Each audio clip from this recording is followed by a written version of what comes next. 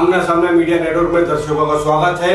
आइए हम बात करते हैं पिछले दो दिनों से जो पूरे देश में चर्चा का विषय है, मुफ्ती एजाज कासमी साहब और फरा फैज के बीच में जो हाथापाई हुई हिंदुस्तान जी पर, जी हिंदुस्तान पर, वो उसका उस पूरे मामले की अगर हम पे चर्चा करें तो बात ये सामने आती है कि किस तरह से जो है मुफ्ती साहब को जो है बरकराने की कोशिश की गई, उनको जो है भड़काया गया, उनको तैश में लाया गया, किस तरह से उनके जज्बात को ठेस पहुंचाई गई। हम यहाँ पर मुफ्ती एजाज अहमद कासमी साहब की बिल्कुल हिमायत नहीं कर रहे, उनको यकीन अपने जज्बात पे काबू रखना चाहिए था, लेकिन एक इंसान है वो भी, और क्यों इतना आखिर वो आपे से बाहर हो गए?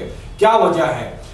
हम यहाँ भी, यहाँ पर ये भी कहेंगे कि जितने ये नेशनल चैनल है वो मुसलमानों को बुलाकर, उनके नुमाइंदों को बुलाकर वहाँ पर उनके साथ में बदतमीजी करते हैं, उनके साथ बहस करते हैं और उसको, उनकी बहस को इस मकाम पे लेकर आते हैं कि मुसलमान जो है भड़क जाए और ये ये लोग वो दिखाए कि एक मुसलमान जो है कितना जो है बदतहजीब है और किस तरह से ये महिला, महिलाओं पे हमला करते हैं और खातन का भी जो है, की भी जो इज़्ज़त नहीं करते हैं ये। तो हम आपको बता दें कि इसकी असल जो मामला जो ये था कि जब वो मुफ्ती साहब से बहस हो रही थी और जो बहस जो है, पूरे मुबासा जो है, बहुत जोरदार तरीके से आगे बढ़ा और उसमें हाथ यहाँ तक कि नौबत जो है, नोक झोंक की आ गई और बदतमीजी पर एक दूसरे के लिए उतर उतर गए। वहाँ पर एंकर जो है इसके, एंकर ने मुफ्ती साहब से ये कहा कि आपको बदतमीजी करनी है तो मदरसे में जाए।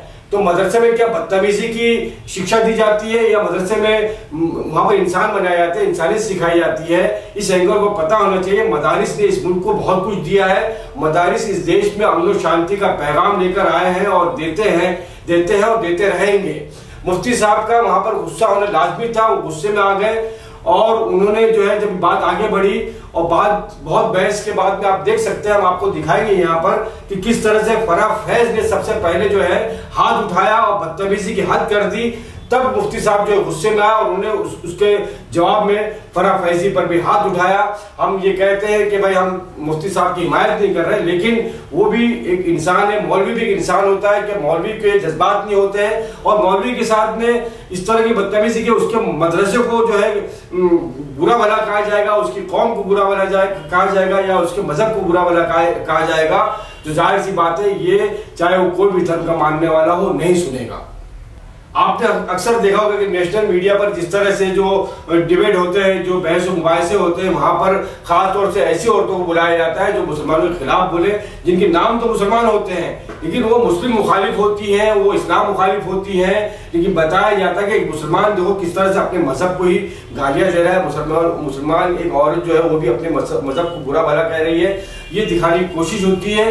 वहाँ पर एंकर जो है, उस हमारे जो नुमाइंदे होते हैं, मुस्लिम नुमाइंदे होते हैं चाहे उसमें नाम निहाद हो या मोतबर हो सबके साथ में सुलूक वही होता है बराबर का सुलूक होता है। नाम निहाद जो मुसलमान होते हैं वो हुकूमत की के गुण गाते हैं या कहीं ना कहीं जिनको शहरत का शौक होता है वो अगर लड़ाई लड़ते हैं तो उनको भी बेजती का सामना करना पड़ता है। और हमारे मोतबर उलमाए कराम से भी ऐसे ऐसे सवाल किए जाते हैं कि जिसका जवाब देना आ, मुश्किल नहीं है लेकिन वो जवाब देने के बाद इस तरह के सवाल किए जाते हैं कि उनको वो जज्बात में आ जाए। लेकिन हमारे मुफ्तियों ने हमेशा जो है इंसानियत का पैगाम दिया और बहुत ही तहजीब के साथ जवाब दिया।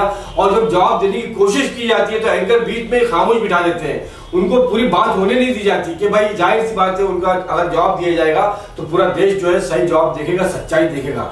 ये सच्चाई बताना ही नहीं चाहते कि हमारे उलमाए कराम या हमारा इस्लाम क्या कहता है, मुसलमान क्या कहते हैं, मुसलमानों पर जुल्म क्यों हो रहा है, किस तरह से हो रहा है? ये जवाब देने की कोशिश की जाती है, लेकिन जवाब देने का मौका नहीं दिया जाता। वह खामोश बिठाया जाता है। वहाँ पर मुस्लिम मुखालिफ जो लोग बैठे होते हैं, चाहे फिरका पर सरासी हो या भगवा परिवार के लोग हों, उनको पूरा पूरा मौका दिया जाता है। ये मामला कुछ यहाँ पर हुआ कि मुफ्ती साहब जो है, वो ऑफ़िस से बाहर हो गए। मुफ्ती एजाज कासमी साहब ऑफ़िस से बाहर हो गए। उन्होंने भी जो है गुस्से में आकर उस महिला पर हाथ उठाया।